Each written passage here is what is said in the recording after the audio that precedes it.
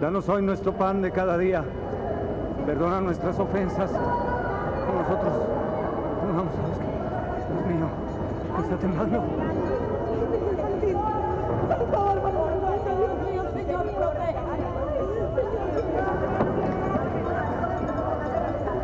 Bức tượng Chúa mở mắt trên đường phố những bức tượng hoặc búp bê thường khiến nhiều người sợ hãi khi nhìn thấy một số người nói rằng hình dạng con người nhưng vô hồn có thể khiến cho chúng ta bất ngờ. Trong khi ghi lại cảnh đường phố ngày lễ Giáng sinh, một người đàn ông hướng máy ảnh của mình về phía bức tượng Chúa Giêsu được ghim lại trên đó đóng đinh và buộc chặt. Nhưng sau đó, một sự việc rùng rợn đã xảy ra, bạn có thể theo dõi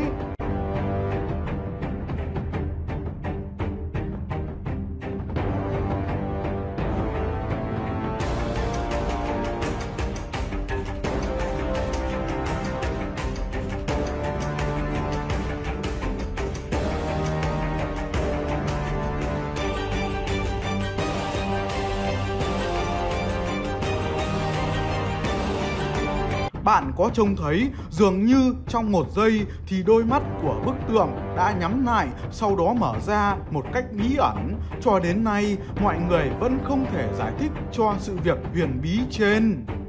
Một bức tượng Chúa Giêsu lắc đầu trong một đám rước công giáo một số nhân chứng tuyên bố đã nhìn thấy một bức tượng của Chúa Giêsu dường như lắc đầu trong một đám rước công giáo. Sự kiện kỳ lạ nó xảy ra ở đông bắc của Mexico, được ghi lại bởi một trong những người có mặt ngay tại thời điểm đó.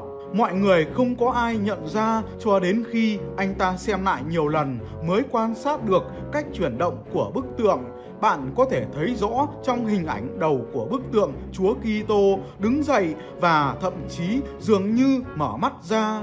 Một số phương tiện truyền thông đã đưa tin hiện tượng bí ẩn. Rất nhiều người đã cho rằng đó là một phép lạ, một thông điệp thiêng liêng rõ ràng cho nhân loại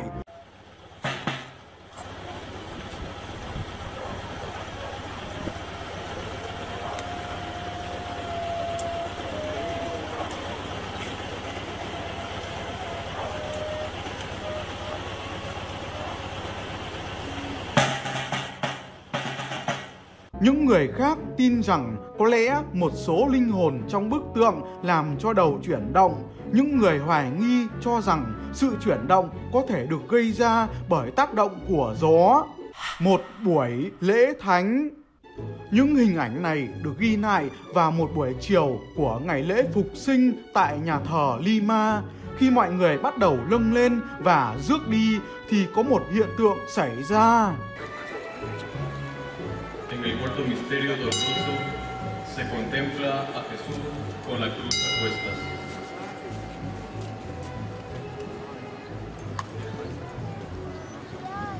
Tomaron pues a Jesús y él cargando con su cruz salió hacia el lugar llamado Calvario, que en hebreo se llama Golgotha, y allí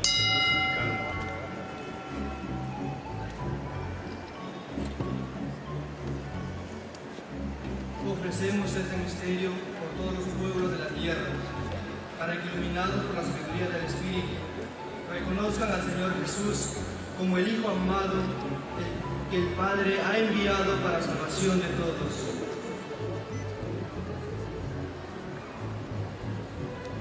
Bạn có trông thấy sau khi rước đi một lúc thì đầu của bức tượng Chúa đã tự đứng thẳng lên.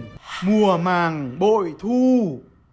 Vào một tuần lễ thánh năm 1992, một tín đồ trung thành đã đến chụp những hình ảnh bằng chiếc máy ảnh nhỏ của anh ấy.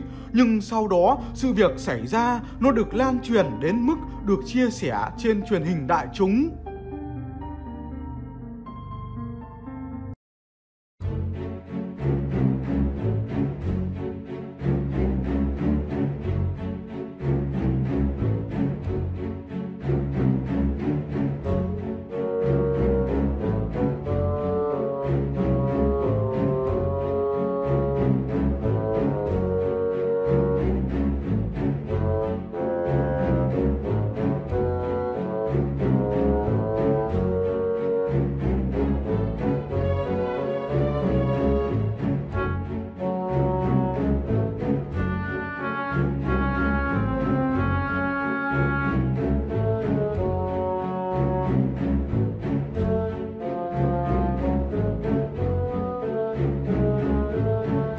Bạn có thấy đầu của bức tượng đã tự di chuyển giống như một cái gật đầu? Có thể đây là một thông điệp của một sự đồng ý, hoặc có thể đây là một báo hiệu cho mùa màng bội thu hay không?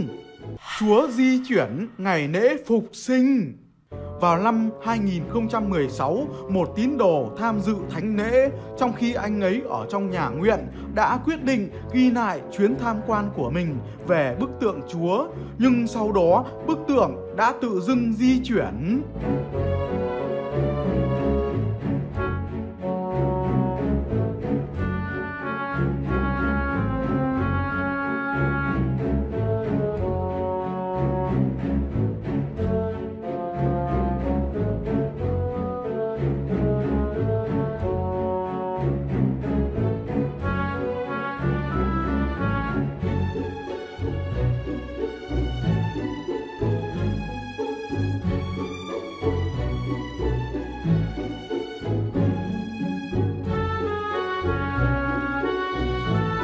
Bạn có thấy khi anh ấy quay gần về bức tượng thì đôi mắt của bức tượng dường như đã mở to rồi nhắm lại.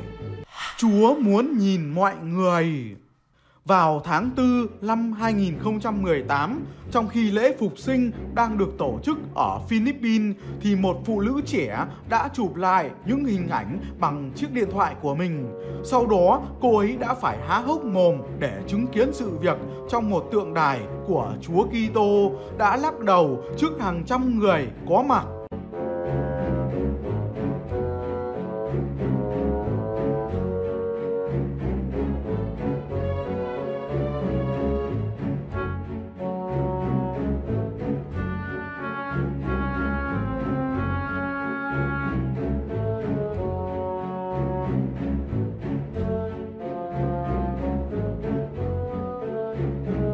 Cô ấy đã rất ngạc nhiên khi thấy rằng đầu của bức tượng Chúa đã tự đứng thẳng lên rồi lại cúi xuống, giống như bức tượng nhìn mọi người rồi cúi xuống ngay sau đó. Bạn nghĩ điều gì về bức tượng Chúa mở mắt ra một cách bí ẩn trên đường phố hay bức tượng Chúa lắc đầu trong một đám rước công giáo và bức tượng Chúa gật đầu trước hàng trăm người đang chứng kiến?